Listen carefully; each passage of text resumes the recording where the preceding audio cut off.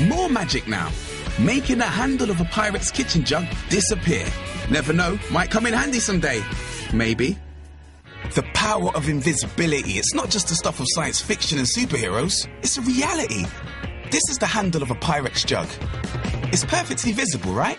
But watch what happens when I add some vegetable oil. Well, the handle's disappeared. The reason this happens is because light refracts. Light moves at different speeds through different substances, and this speed is measured by something called refractive index. When light travels through two substances with different refractive indexes, it changes direction at the boundary between these two substances if it's traveling at an angle. This can be seen here by shining a light through a glass block. This change in direction is called refraction. Refraction makes looking at objects underwater quite tricky. This is because water and air have different refractive indexes.